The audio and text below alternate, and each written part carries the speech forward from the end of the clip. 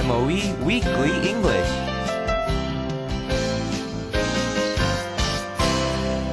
Welcome to SMOE's Weekly English. My name is Jon, and I work in the English Education Department at the Seoul Metropolitan Office of Education.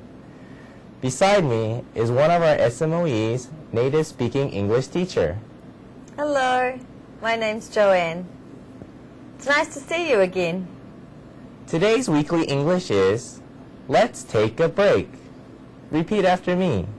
Let's take a break. Let's take a break. Here's an example. Joanne, let's take a break. Why not? Jon, let's take a break. Sure, I'll be right there.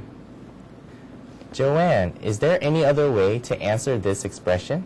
Sure, you can say, let's take five minutes, or let's take a coffee break.